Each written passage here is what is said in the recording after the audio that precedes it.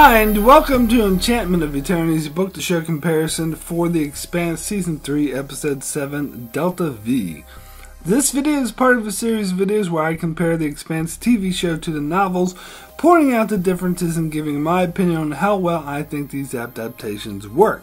So I have to start with a spoiler warning for The Expanse up to the end of Season 3, uh, and I really mean it this time. If you have not seen all the way to the Season 3 finale, this video will definitely contain spoilers, so if you haven't seen all of Season 3, you will not want to watch this video, otherwise it will spoil you.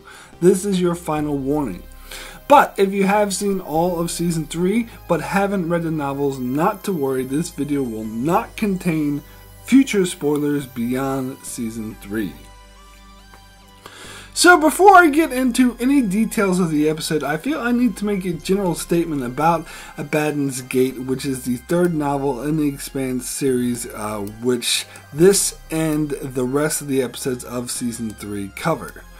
I mentioned this on my channel uh, many times before, but this was my favorite novel in the Expanse series, and unlike the two previous novels, I don't think the show quite lived up to its source material. Mainly because I felt like they rushed through the material. Book 1, Leviathan Wakes, the show took about 15 episodes to cover that material. Book 2, Caliban's War, the show took about 14 episodes to cover that material. With Abaddon's Gate, the show took a mere 7 episodes to cover it, which is literally half the time it took to cover the other books. In this one episode alone, it covers nearly a quarter of Abaddon's Gate, mostly skipping over uh, the source material. Now, even though it has been stated um, that those running the show didn't know for certain that the show would be canceled after season 3 when they were making season 3. I strongly believe that they at least suspected that the show would be canceled and they could see which way the wind was blowing with sci fi, so they didn't want to end season 3 with a cliffhanger just in case the show was canceled, so they wanted to reach the end of book 3 by the end of season 3 and I believe in order to do this, they had to rush through the source material, and a lot of important character beats and interesting storylines were lost in the process. So, although I do like season 3 a lot, including the second half, these videos are about comparing the show to the novels, which, in the case of Abaddon's Gate, overall I don't think they hold up to. So, you may find I'm a little harsher on the next coming episodes. I'm not entirely certain that this will be the case, but I suspect it will be. We'll just have to see. Regardless, let's get on with analyzing this episode. So we open on Earth with Avasarala giving a speech, as she is now apparently the Secretary General of the UN because Gillis resigned and Errinwright was arrested for treason, leaving Avasarala next in line. Uh, they failed to mention why Gillis resigned to explore this further, but I suppose we are led to believe he didn't want to tarnish his legacy, or perhaps maybe Avasarala pushed him out for being such a coward. We're never told, so we can only guess. Anyway, Avasarala's speech is about how, although uh, there'd be a lot of hard feelings after the recent wars, that we need to leave our desires for revenge behind and instead focus on peace because of the looming mysteries, mysterious threat of the protomolecule. All humanity must come together, united to protect the uh, survival of the human race. And I do wonder if Pastor Anna wrote this speech, as it sounds very similar to the speech she tried to write for Gillis before Errinwright corrupted it. Anyway, um, while Avasarala finishes her speech, we're treated to a visual of a weird protomolecule thingy flying out in space, transforming itself. It eventually forms a giant ring, which the subtitle identifies it simply as the ring, which is beyond the orbit of Uranus. Now, in the novels, Avasarala doesn't become Secretary General until Book 5, the details of which I won't get into here, but suffice to say that in the novels at this stage, uh, Sorrento Gillis is still the Secretary General. Although by the end of the novel, there's another election, and he loses that election, but not to Avasarala, but to another candidate. But it's assumed by those with political know how that Avasarala was responsible for the change in regime and somehow helped Gillis to lose. However, at the end of Caliban's war, there is a scene of a peace summit on Luna with the UN, Martians, and OPA delegates in attendance that does convey the general message being expressed here that all of humanity is coming together to deal with the protomolecule threat. As for the ring, I think this is explained a lot better here. As in the novels, at least a year had passed between the events of book 2 and 3, and at the start of book 3, they talk about the ring like it's already there, and we hear mostly about it through newscasts and characters talking about it. When I was reading the novels, it gave me the feeling that I missed a chapter, like I forgot to read something, but I didn't. So I like this speech for Avasarala so much better than hearing about it in like newscasts. I think it sets the stage for what is to come and makes it clear exactly what the ring is, so I'm going to give this a plus four. So next we go over to a belter slingshot daredevil named Mineo on a tiny ship called the EK. He apparently is known for setting records doing dangerous slingshots around planetoids. We see him psyching himself up uh, for his next record breaking slingshot around Saturn, which is unprecedented and he feels will make him famous. He sends a message uh, to his girlfriend back on Ceres, telling her that when he returns, she'll be banging a superstar. However, when he watches the news to see what they are saying about him, the story about him breaking records is interrupted by a news story on the ring and how Avasarala is sending a large fleet there that includes civilians like artists and religious leaders. The interruption upsets him, but he's sure that when he breaks the biggest record, people will stand up and notice him. So he does a slingshot, which is very dangerous, and he barely manages to survive uh, just with a bloody nose. But when he turns on the news to see what they're saying about him, the news only talks about the ring, this time reporting that James Holden, hero to the belt, will be visiting the ring. This really upsets Mineo, but um, matters get worse when he receives a message from his girlfriend Evita, who complains that she's lonely while waiting for him to come back, so she sought out the company of his brother, who we then see walk by wearing nothing but a Speedo that tells him to be safe out there. This, of course, causes him to become quite depressed, and he drinks alone on, the, on his ship while listening to sad music until he comes up with an idea. He then sends a message to Evita telling her that he's going to do something so big uh, that she's going to come back to him and love him again. And his idea is, of course, to slingshot into the ring. So, in the novels, Mineo's story is told in the prologue of Abaddon's Gate, where here it's broken up into several scenes and told throughout the episode. And this is how the novel introduces the reader to the concept of the ring, which, as I already mentioned, I thought was a poor way to do it. And in the novel, Mineo is described as a young 18 year old, uh, where here the actor looks a bit older than that to me. It was described that he got into slingshotting as a way to prove himself, as he grew up on Ceres, but his father was an earther, so he was picked on because of that and slingshotting was described more as an underground illegal sport uh, that gangsters uh, ran betting pools on, whereas here it's portrayed as a legitimate uh, extreme sport that makes national news. In fact, the way it's described in the novels was more closely portrayed in season one, where Miller came across an underground gambling syndicate where people bet on whether or not a slingshotter would survive. In the novels, Evita was not his girlfriend, but his cousin, whom he had a crush on, but he was hoping to win her affections by doing these slingshots. So, I actually like the show's version better here, as it's less confusing after Avasarala's explanation of what the ring is, and it adds humor to Mineo's backstory. The scene with his brother walking by in a Speedo was hilarious, uh, whereas his backstory in the novels was kind of boring, so I'm going to give this a plus three. So then we go over to the Rocinante where we see a documentarian named Monica Stewart interviewing Holden while they're on, on their way to the ring. Monica asks Holden how he managed to be involved in some of the most important events in recent history, and he answers that he's just lucky. She then asks uh, why he's going out to the ring, and he says uh, because she's paying him to do so. Uh, she then asks him what he thinks of the ring, and he answers that it makes him want a donut, and she points out that he's deflecting. Uh, they're now in the command center where Amos is working, and uh, Monica is accompanied by her cameraman Cohen, who also happens to be blind, but due to implants can operate a camera. Uh, then uh, she mentions that the Rocinante was stolen, but Alex quickly slides down the ladder and corrects her that it's legitimate salvage.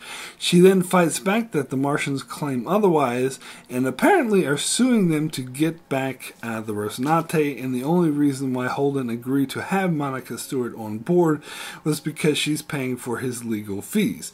Alex expresses interest in being interviewed about the Rocinante, but Monica sort of brushes him off and instead is interested in Amos and asks why he's on the Rocinante, and he says he's going to be on the ship regardless of which ship it is, and at least this ship is part his.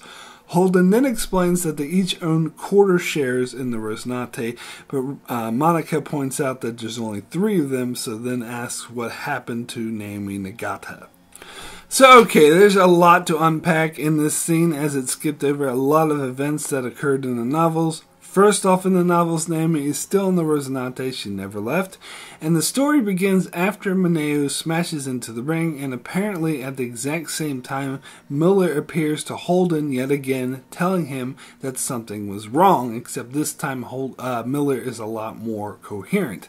So Holden figures that Miller is connected with the ring, and that scares him, so he wants to get as far from the ring as possible.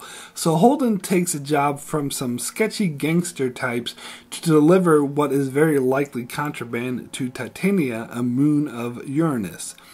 When Naomi asks why he would take such a job, which they would usually avoid, Holden shows her a map of the solar system, which at this point, uh, Uranus uh, currently uh, was in the opposite side of the solar system from the ring, meaning that it's the furthest possible distance from the ring where humans are. But when they go to take delivery uh, of the contraband, the gangsters suddenly back out as something got them spooked, and they warn Holden to leave Ceres immediately. Uh, they detect someone is heading their way, so Holden and Amos go out with guns, expecting an armed party uh, while Alex fires up the Roci. However, instead of armed invaders, they find a young woman Holden describes as looking like a supermodel, smiling and asking if he's James Holden. When he answers that he is, she hands him a hand terminal that's apparently a summons, and she tells him that he's been served, and then leaves. Holden reads the summons to find that the Martians are officially suing him for the Rocinante, uh, challenging their salvage claim and they're suing in earth and martian courts meaning this places the places they could go uh, to run are few and far between uh, the Rocinante is then put on lockdown and they are stuck on Ceres until the situation is resolved. During the coming weeks, Holden contacts several lawyers and discovers that whether they can win the case or not is uncertain, but what is certain is that it would cost him a lot of money to try. Eventually, he's contacted by Monica Stewart, who wants him to take her to the ring and offers him a hefty sum, which he could really use to pay his legal fees. But more than that, she can backdate their employment and get special dispensation for the Rocinante to leave Ceres so that the Rocinante will no longer be in lockdown which gives the Rocinante the option to run. Even though the ring is the last place he wants to go, he agrees because it's their only option. But Holden is convinced that Miller is behind this to force him to go to the ring because it's all too much of to just be a coincidence and he suspects that he's being played. Now, it turns out that he's right about being played, but wrong about who is playing him. As really, it was Melba, aka Clarissa Mao, who set the whole thing up uh, with the Martian suing them and Monica Stewart coming to his rescue in order to get the Rocinante to the ring with her man on board. So anyway, when Monica does come on board, it's not just her and Cohen. There's four people in her team, including herself. There's her, Cohen, a guy named Clip, and a woman named Okja. And in the novels, Cohen isn't a camera operator, he's the sound guy, which kind of makes more sense for a blind man, but anyway. Uh, once on board, Alex doesn't try to talk to her uh, like he does here. It's in fact Amos who cozies up to her, uh, but it's just because he's hitting on her and also Okja. But Naomi, Alex, and Amos all go to Holden, ask him to keep Monica busy so she doesn't bother them because none of them want her prying into their past, as they all went to the Canterbury in the first place to hide from their past. So Holden actually cooperates with Monica in order to keep her distracted and away from the others. Also, the part about all four of them owning the Rocinante also happened in the books, but it was decided during the events of Caliban's War. Now, the show doesn't make it very clear that the Rocinante is a ship for hire going from job to job, since the show blended the events of Leviathan and Wakes and Caliban's War. Ever since the Canterbury was destroyed, the four of them has just been on the run, dealing with the proto-molecule crisis ever since, and this is the first time we see the crew after those those events be a legitimate shift for hire, and the show just kind of glosses over it. Whereas in the novels, this has been firmly established for some time and further establishes such as the you know smuggler smuggling contraband for gangsters story that they just had. Also, I found it incredibly jarring to just jump straight into Monica Stewart being on board without properly setting her up, and I feel the show severely downplayed the importance of the Martians suing them for the Rocinante and kind of just threw it out there as an insignificant excuse as to why Monica's there, as they never actually explain that this was all Clarissa Mao's doing, nor do they even resolve the situation. Whereas at the end of Abaddon's Gate, Anna gets her friend Tilly to make the lawsuit disappear as a favor to her. And of course, having the whole uh, sequence with the summons and the ship on lockdown really raised the stakes and the tension that was solely missing here. So I'm going to give this a negative 5. So then we go over to the Behemoth, the ship that was once the Nauvoo, but the OPA has uh, retrofitted it as a battleship. We see that Naomi is serving on the Behemoth as its chief engineer under its captain, Camina Drummer. Drummer scolds Naomi for being late as they approach the airlock, and Naomi simply notes that she's in a bad mood and warns that they knew the day was coming, but Drummer isn't happy about it. As apparently, even though Fred Johnson was the one responsible for retrofitting the Behemoth, he made a deal with Anderson Dawes to have equal representation on the ship since it's supposed to represent all of the OPA, and they're going to the airlock to meet Dawes' representative, who turns out to be a man named Klaus Ashford, who apparently is a known pirate. Ashford is to serve as Drummer's first officer, and when he asks permission to come on board, Drummer asks if she can say no, and Ashford tells her that she cannot. Ashford then introduced the youngest member of his team, Diogo, and Naomi uh, tells her, uh, Naomi flips out because Diogo betrayed Fred Johnson, but apparently Dawes made a deal with Johnson to allow Diogo to be part of her crew. Diogo then tries to uh, taunt her by telling her that Cortazar says hello, but Ashford scolds him uh, for saying this to Naomi and says that Naomi has done more for the belt than he ever would, and that Drummer is his captain, and he apologizes. Drummer then welcomes him to the behemoth and then departs. Ashford then tells Naomi that he can feel the love already. So, in the novels, it was a very, very different situation on the Behemoth. Um, the characters of Drummer, Naomi Ashford are stand ins for the book characters of Bull, Sam, Michio Pa, and Ashford. In the novels, Naomi never joins the OPA or serves on the Behemoth, as I mentioned. Instead, we follow the viewpoint character of Carlos de Baca, otherwise known as Bull. Bull is an Earther friend of Fred Johnson, who's an experienced and well trained officer who serves the OPA and was initially made first officer of the Behemoth, uh, even though he felt he deserved to be the captain. However, he was then demoted to second officer and chief of security, mainly for political reasons because Johnson was an earther and they didn't want to have too many earthers in high positions, uh, so they wanted the captain and first officer both to be belters. The captain of the behemoth was Captain Ashford, who was not so experienced and was more worried about his career. Bull had a very low opinion of Ashford, whom he saw as an opportunist who was not capable of his job that he was given. Ashford's new first officer was Michio Pa, a very young, but uh, Bull thought maybe too young, but Bull ultimately did like her, but she wasn't too fond of Bull. The last character is Sam, the chief engineer. Sam had appeared in previous novels repairing the Rocinante and was friends with the crew, particularly Naomi. Here, Sam is friends with Bull, uh, but that will soon get her in trouble.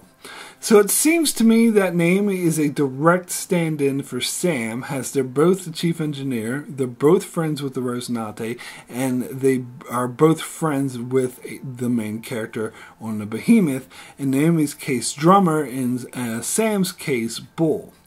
Drummer and Ashford are a bit more complicated. Now, as I mentioned in previous videos, Drummer doesn't appear in the novels until book 5, and at first isn't really given much to do. But it seems that the show has blended characteristics of Bull and Book Ashford into Drummer and Show Ashford. For example, in the show, Drummer is the inexperienced one who is a captain. Uh, like uh, Book Ashford, and and Show Ashford is more experienced one who thinks he's more qualified to be captain, like Bull. However, it's clear that Drummer is someone the audience is supposed to get behind, like Bull, whereas both versions of Ashford turn uh, out to be more of an antagonist. And Drummer also has elements of Michio Pa in terms of being a young female angsty officer that some believe is too young to be in a position of command. And Diogo doesn't factor into the novels at all, as he was not in these novels at all. Also, the situation with Johnson and Dawes coming to a truce that makes Dawes' man the first officer did not exist in the books. Fred Johnson had ultimate control of the OPA, although it was unsteady, which is why he had to make political moves, such as giving command to, of the behemoth to an inexperienced captain that doesn't deserve it. My main complaint with this change is I prefer Book Ashford as a very clear and realistic antagonist, someone who is incompetent but in power for political reasons, where Show Ashford, being more experienced than Drummer, changes dynamic in a way I don't like. So I'm going to give this a negative 3. So then we go aboard the Thomas Prince, a UNN battleship on its way to the ring carrying a contingent of VIP civilians. Of these VIPs, we see Pastor Anna on the CIC, and she starts up a conversation with a scientist named Kovord, and they discuss what the ring might be. Kovord asks Anna if she's rich or a celebrity, and when she answers neither, he then asks how she got on the ship then. And she says that the Secretary General made her an offer that she couldn't refuse.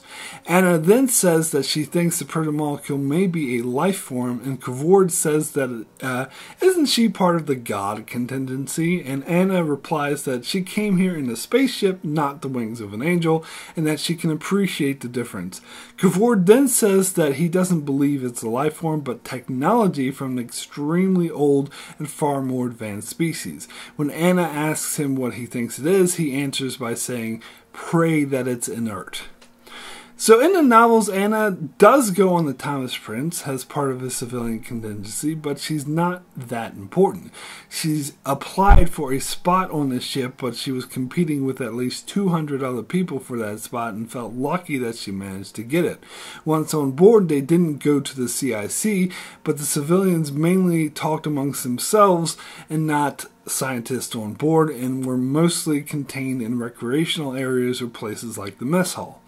The conversations we saw Anna having was mostly with other religious figures and a few characters that the show will introduce a bit later, so I'll get into them when in later episodes when they're introduced. As for Kavord, this character was not in the novels and it, uh, was invented just for the show, so they didn't do the whole science versus faith thing that we do here, but a lot of discussion that was had about the protomolecule. In fact, at the first big function, a man tried to set himself on fire to protest the oppression of the Afghan people, but uh, the ship's fire suppression put him out and prevented him from doing so. And this was mostly inconsequential to the main plot, but mainly there to illustrate how chaotic the civilian populace on the Thomas Prince was and how easy uh, they all were going to the ring. And this scene implies that Anna is there because Avasarala asked her to go, whereas in the novel she's a lot less important uh, than that and is seen more as a minor figure amongst the civilians. I'm not really sure why the show felt the need to change the situation or not introduce the other characters now and instead create this Kavord character who seems mostly unnecessary, so I'm going to give this a negative 2.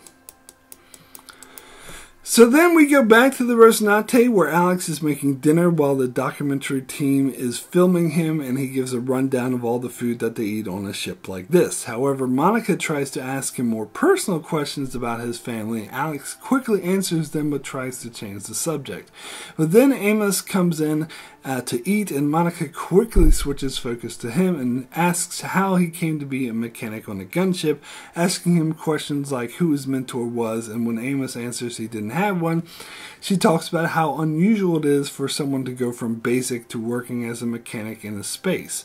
Uh, she then asks him where he's from, and he says no place in particular, but she says that he's from Baltimore, and she did some checking and found that there was an Amos Amos Burton from Baltimore who was some kind of crime lord, but Amos says it's just a common name.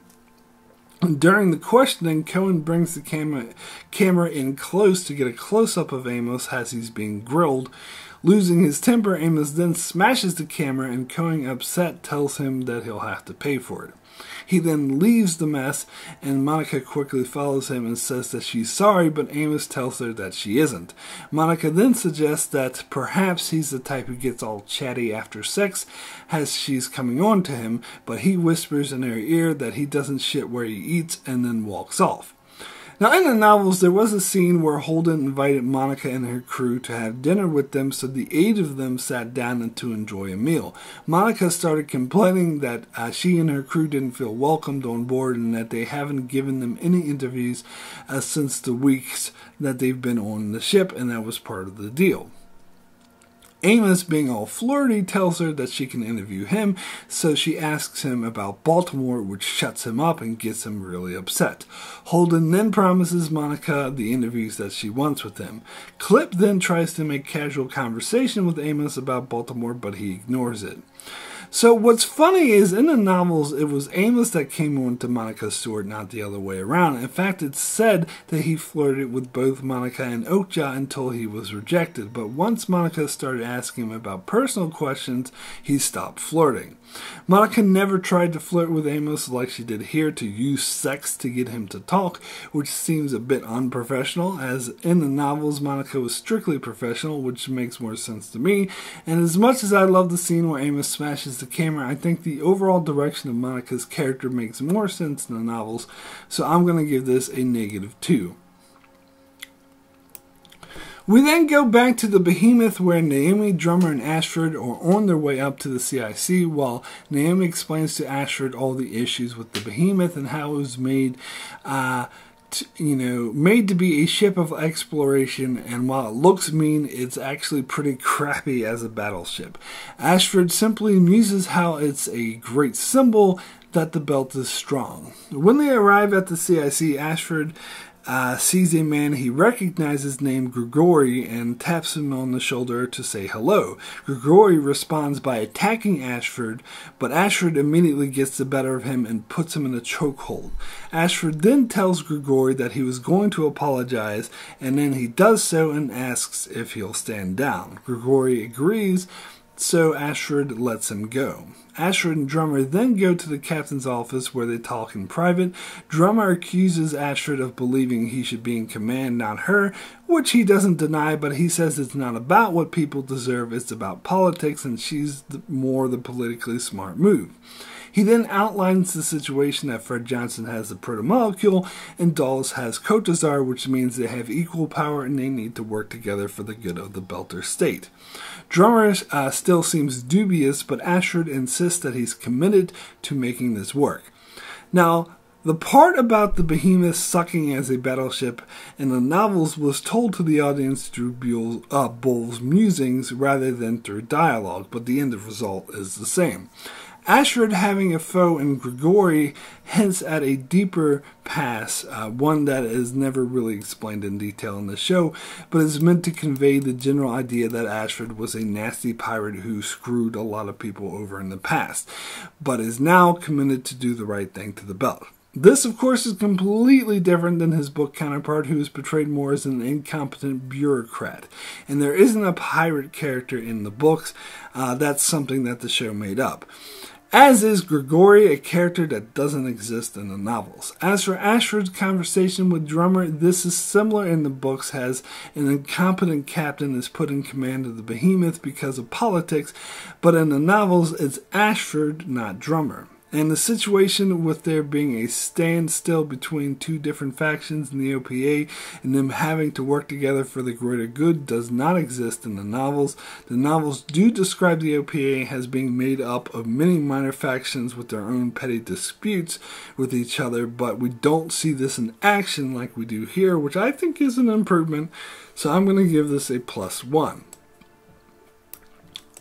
So then drummer Ashford and Naomi are alerted to a crisis in progress, and we see that a skiff that was working uh, off the outer skin of the ship has went haywire and is in danger of damaging the ship. They quickly work to solve the situation and manage to get the skiff inside before it does any damage. The driver, however, has overdosed on pixie dust, a uh, heavy narcotic.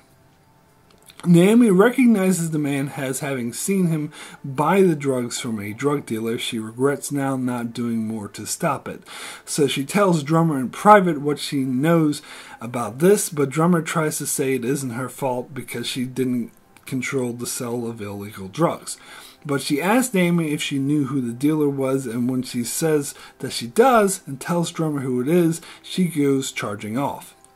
So in the novels, we didn't see the accident happen, quote unquote, on screen, so to speak, but rather Bull read about it in some reports. And the nature of the accident was different as it happened inside rather than outside the behemoth, and it was a man driving a mech.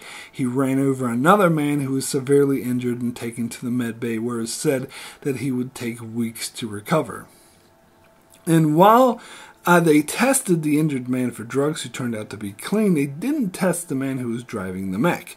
Bull suspected that he was on drugs, so he went to Sam about this, and Sam confirms in general that a lot of her crew does take drugs, but when Bull asks her for a name of a dealer, Sam refuses to tell him, worried that she'll be seen as a snitch, but Bull guilts her into it, and eventually she gives him a name. But either way works for me, so I'm going to give this a zero. So next we go back to the Rocinante, where we see Alex talking to Bobby Draper over the comms. Uh, Draper is back on duty as a Marine on a Martian warship. She tells Alex about visiting Mars and how it was good to see the planet again, and Alex admits to being jealous of her. She tells him that she looked in on his wife and son for him, and that his son was really great and his wife was polite.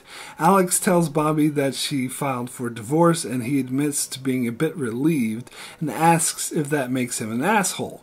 But Bobby says no because she's not much for civilian life either. We also see that a good portion of this conversation is being filmed by the documentary uh, team, uh, although Alex isn't aware of this. Bobby then tells Alex that regardless of what her fellow Marines think of how they took ownership of that ship, that Alex is a top notch pilot that can fly her anytime. Alex seems honored and then signs off. So in the novels, Bobby Draper doesn't appear in book three at all, but it is implied at the end of book two that she is did in fact not return to active duty, but instead returned to Mars to be with her father and brother. And in the prologue of book four, we see her on Mars as a civilian working with veteran outreach programs. Also, we never see Alex communicating with her in such a way, but it's possible that this could have occurred, quote unquote, off screen. Also, as I mentioned in earlier videos in the novels, Alex was already divorced before joining the Rocinante and he didn't have any children, so this part is different as well. This, I think, was a great scene and a nice added touch to the show uh, that show that Alex and Bobby are keeping in contact. Plus, the fact that Bobby is still Marine has implications that she will appear later in the story, uh, which she didn't in the books, and I like her inclusion in the story. Also, this was just a very touching scene that shows how close Alex and Bobby had become, which is also the case in the novels. We just weren't reminded of that in book three, which I think is important to do so. So I want to give this a plus three. We then go back to the Thomas Prince, where we see Pastor Anna getting a message from her wife Nono, where Nono tells her that Avasarala has been true to her word and is supporting the clinic, and it has never been in better shape. But at the same time, she's never felt worse because she's worried about Anna being so close to the ring and begs her to come home soon. This brings Anna to tears as she plays the message. Now, in the novels, when we first meet Pastor Anna, she's on Europa, where she has been living for the past two years as a missionary of sorts. And when she gets the invitation to join the mission to the ring, Nono tells her to go, but informs her that she's taking their daughter back to Earth to Russia to meet her family. Anna is at first worried that Nono is leaving her, but she says Anna can come back to her once the mission is done. Nono is more concerned that their daughter uh, Nami is uh, if she stays in Europa for too long, that she will be raised as a belter and will no longer have the bone structure to return to Earth, so she wants to take her back to Earth before that happens. And although we never see Anna getting a message from her wife like this during the, on the Thomas Prince, it is in keeping with the sentiments of her being proud of Anna for being out there, but at the same time warning her to come home. The show is hinting at Avasarala bribing Anna to go to the ring with uh, supporting her clinic, but it still isn't very clear to me why she wants her there, so I'm going to give this a negative one. So we stay on the Thomas Prince, but switch to a skiff that is leaving the Thomas Prince, going to another ship in the fleet. On the skiff, we're introduced to Melba Koh, a rookie electrician, and her teammates uh, Stanni and her boss Ren. Ren suggests to Melba that she clock in before showering and call it decontamination so she can get paid more. Melba is thankful for the advice and says that she'll do that, while Stanni uh, teases Ren about knowing all the ways to cheat the system. Stanni then goes on to talk about James Holden and how he's always involved in everything and now he's going to the ring. He then teases Melba, showing her a picture of Holden asking her if she likes what she sees, but she replies realized that she wouldn't rub up against that narcissistic asshole with his junk. Didn't we see them board the Seung Un to do repairs. Melba seems overwhelmed with the work, but Ren tries to make her feel better, telling her that the first contract is always the hardest, and as she has any questions, she should feel free to ask. She's very appreciative, but as soon as Ren leaves, she pulls out and plants what appears to be a bomb. So, now's the time to get into Melba Koh. In the novel, she's introduced to us immediately as Clarissa Mao. They don't withhold this information from us like the show does. We also know instantly that her plan is to get revenge on James Holden for what he did to her father. When we first meet her, she's going to a dangerous part of Baltimore to do some sort of deal. She ends up uh, in a tough guy bar where the bartender there assumes that she's lost, but really she wants to meet with the gangster.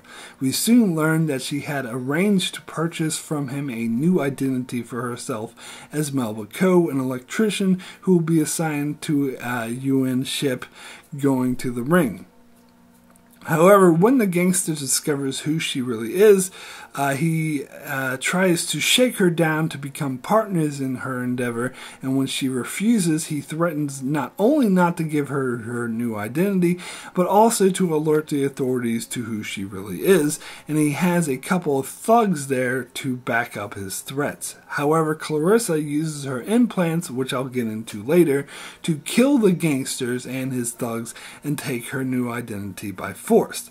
The next time we see her, she's an electrician on the UN fleet. However, rather than being a novice as she is in the show, she's in a position as the team leader, where Ren and Stanni work for her. There's also a fourth member of her team, Soledad, but we'll meet her in the show a bit later. In the novel, Stanni is a bit of a jerk to her, and Ren is nice to her, as in the show. However, in the novels, Ren is much younger, and also Ren is a belter, so also a bit of an outsider. She listens on a private channel between them to find Stanni is complaining about her and how she isn't qualified to be their supervisor. So Melba goes to Ren and asks her why that is, and Ren tells her that she made some mistakes that could eventually lead to the ship uh, being in serious danger. Melba then says that Stanni is right, that she doesn't deserve the job and she was just given it for political reasons, and she starts to break down. But Ren makes a point to try to make her feel better and tells her that he'll help her improve. So the show stays true to the general dynamic between Melba and her workmates, but I think the book takes a lot more time to set this up and to show how nice Ren is uh, to Melba and how much uh, she appreciates him, unlike the show, which only has Ren in a couple of brief scenes before he's killed. Therefore, you buy the guilt Melba feels over having to kill him much more in the books.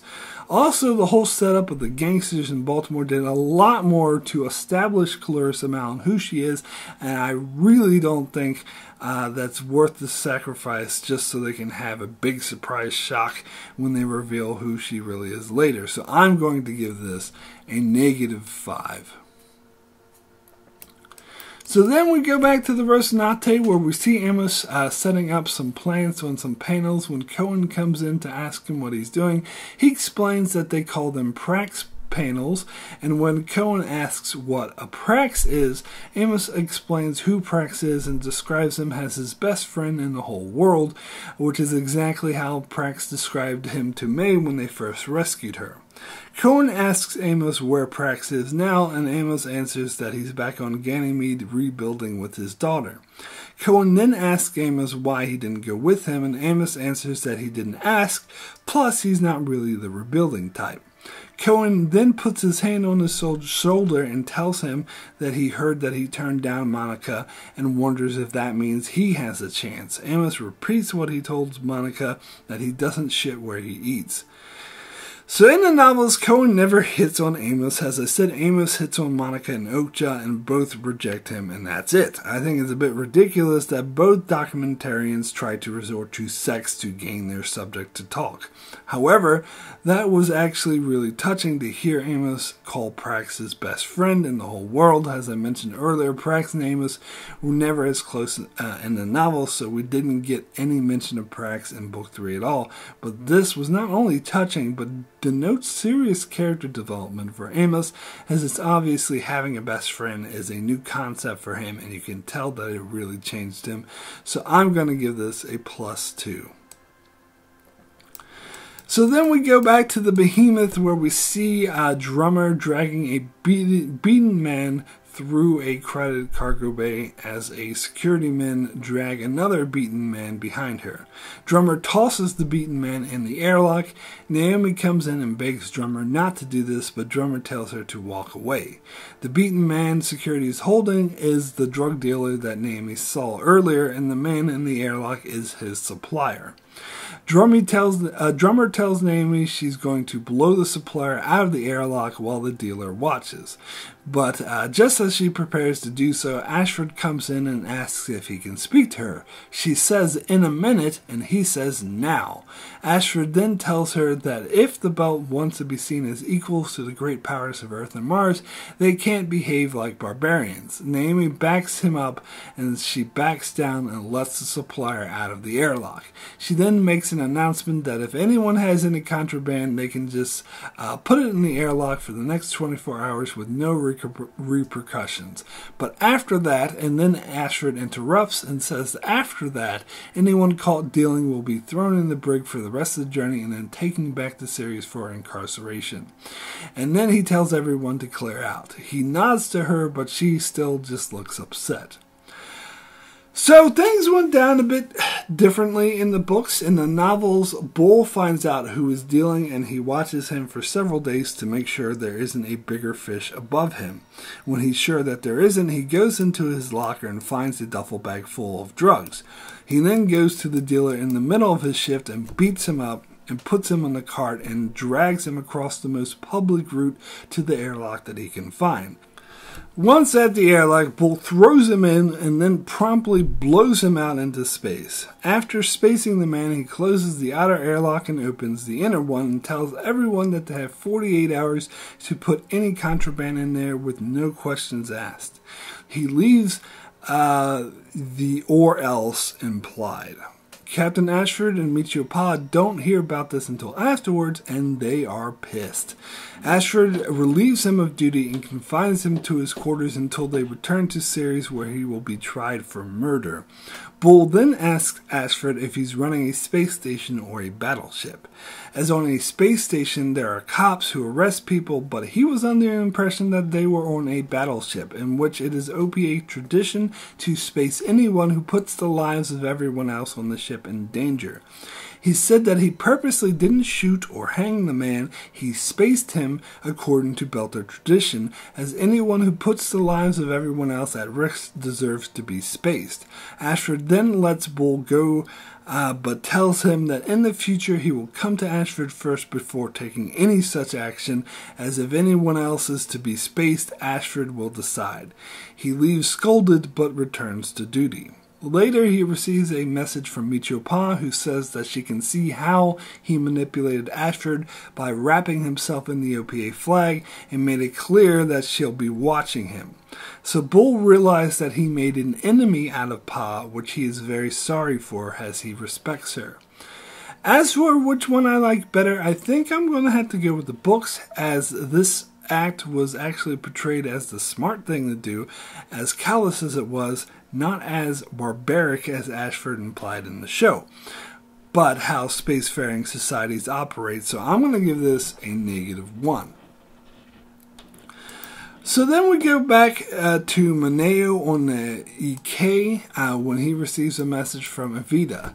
She tells him that she's excited about his plans to fly into the ring and tells him that she was wrong about him and that if he pulls this off, she'll be waiting for him when he gets back. And she then blows a kiss to the camera and then shows her breasts to the camera. Mineo, to say the least, is excited and highly motivated. So in the novels, as I mentioned, Mineo is a lot younger, and Evita, uh, Evita just had a crush he just had a crush on Evita.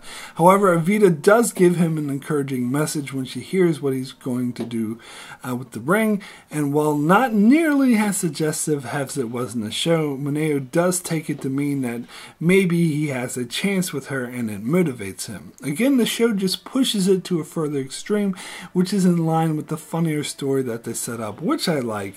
So I'm going to give this a plus two. We then cut back to the behemoth where Drummer and Ashford are uh, watching the drug pile into the airlock on the monitor from the command center. Drummer asks them if he thinks that this makes them better, and he answers that it's a step in the right direction. She retorts that this is not who they are and then walks off. Naomi uh, moves to follow, but Ashford stops her by asking who does she think they are. Naomi says that she agrees with the captain, but Ashford doesn't believe her. He then recounts her career choices, which end in her becoming a big hero, and asks why she is with them now. She answers that she's that now is the time for the belt to stand up and be noticed, and if not now, then never. And Ashford suggests that she tell Drummer that. Now, there's not really an equivalent uh, in the books, as the drug dealer's life was not spared, and Ashford tended to agree with Bull's sentiments. In fact, the novels kind of played it off as if Bull was in the right to execute the drug dealer. And I don't really buy Ashford's holier than now attitude after he put down Grigori and works for a villain like Dawes, so I'm going to give this a negative one. So then we go back to the Seung Un as uh, Melba and Ren are finishing up preparing to leave when Ren realizes that he left his flask behind, so he goes back to retrieve it. Melba follows him, worried that he'll see something he isn't supposed to see, and sure enough, he discovers the bomb that she planted. He tells her that he'll vouch for her and try to protect her, but they need to report this. She simply tells him that she wished he hadn't seen that. He says that uh, he's been in fights before and asks her not to resist, but then we see her do something with her mouth and then she shudders but then opens her eyes looking ready for a fight. She then plows into him, screaming, knocking him onto the ground, and then picks up his body like it weighs nothing and smashes it into the wall head first until he uh, his head is smashed in, and she tosses his lifeless body to the ground as she collapses to the ground herself. So in the novels, we got to see a lot more, uh, spend a lot more time with her and Ren as the two of them bond, and Ren helps her uh, navigate being the leader of a team that she's not qualified to be. But eventually, Ren finds something wrong with the Seung Un as the systems are off that will cause an explosion. He immediately calls Melba to ask her about it, and she asks if uh, he's told anyone, but he said that he didn't because he wanted her to double check his findings first. She asks him to take a closer look. So when he bends down to look again, she takes, uh, she activates her enhancements and snaps his neck, instantly killing him. Now, the enhancements is another thing I need to address. As to be perfectly blunt, I think the show did a piss poor job of explaining them. I don't know anyone who knew what was going on with them that hadn't read the books or that had someone who had read the books explain it to them. So, in the novels, in the scene where she approaches the gangsters in Baltimore, it was described how she had these combat in enhancement implants.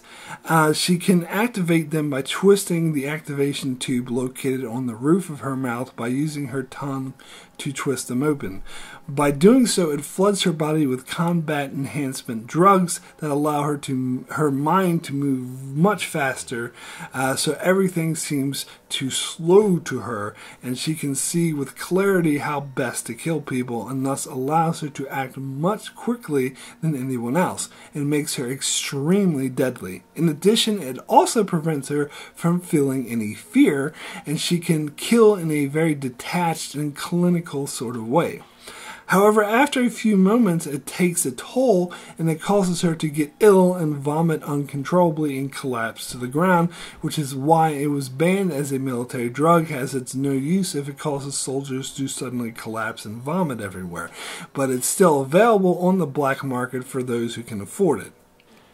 However, the novels were clear uh, that it didn't make her stronger, just quicker, as the novels described her as taking down two huge muscular men. It kept repeating that she wasn't stronger than them, but she didn't need to be. She only needed to know where to hit them to cause the most damage and kill them as quickly as possible. So that doesn't necessarily go in line with her picking up Ren like a suitcase and banging him against the wall.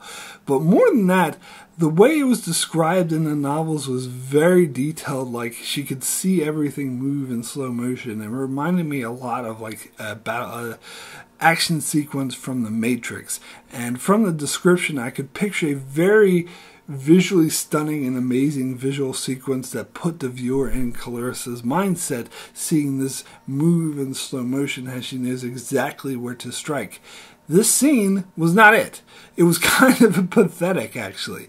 A huge missed opportunity as they could have uh, made the activation of Melba's implants so visually stunning, or at the very least, they could have at least explained to the audience what these freaking implants were. So I'm going to give this a negative 5. We then go back to the EK where we see Mineo approaching the ring. A Martian warship tries to warn him off, but he says that his engines are busted and he's ballistic and he'll just fire them up. They tell him to change course immediately or be fired upon, but he keeps rep uh, repeating no harm, no harm. But then once he's past the point of no return, he says, Too late, dusters, and then sends a message to Evita telling her that he's going to make history for her. He then flies flies into the ring and is ripped to shreds, as the ship is instantly stopped as soon as it hits the ring and the inertia rips his body apart. Now, in the novels, this happened a lot earlier than all the other events of the episode, possibly by months. Particularly, Melba killing Ren was like much, much later. In fact, the scientists uh, probably became more interested in the ring after it turned on once Mineo flew the ship into it. However, uh, the actuality of flying into the ring went pretty much as it did in the novels, except the Martian warships did actually fire torpedoes at Mineo, but the ship hit the ring before the, the torpedoes caught him. But either version is fine, so I'm going to give this a zero. So then back on the Rocinante, where Holden is just coming out of the bathroom, and who who does he happen to see sitting on his bed but none other than Detective Joe Miller. Miller is just mumbling, uh, saying things that he said on the show before, such as there's no law on Ceres, only cops. Holden can't believe what he's seeing, so he closes his eyes, and when he opens them again, Miller is gone. So the implication here is that the ghost Miller appeared to Holden the moment the EK flew into the ring, which is different than the novels. In the novels, Miller first appeared to Holden all the way back at the end of book two, just after the protomolecule thingy lifted up off of Venus. And he told Holden, we need to talk. At the start of book three, Holden has apparently been seeing Miller off and on for over a year, and he'll often sleep in the same bed as uh, Naomi uh, because uh, Miller won't appear because Miller only appears to him when he's alone. However, when the EK flies into the ring, Miller appears to Holden and is perfectly coherent and warns Holden of danger. As I said, the order of events is much different as this happened before Holden got the summons from Mars and before Monica Stewart came on board, so Holden believes that Miller is the one setting him up and sending him to the ring. As I mentioned before, I understand why the show held off on the Miller reveal. It works better for the timeline that the show established, and it was a real creepy way to end the episode, so I'm going to give this a plus one. So, my final adaptation score for Delta V is a negative 9. It's not that I think this is a bad episode, I just think it pales in comparison to the source material, but not entirely as it did improve upon some things, such as the introduction to the ring and Mineo's storyline, but it left out far too many story beats, particularly from the Rocinante and especially from Melba's storyline, which doesn't really work in the show. I do think the show needed more time to do these storylines justice.